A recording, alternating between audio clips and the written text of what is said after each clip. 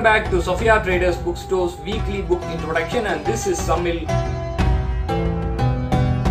This week actually we have planned to bring to the helm a literary work, a gripping account of history uh, that has to do with the Islamic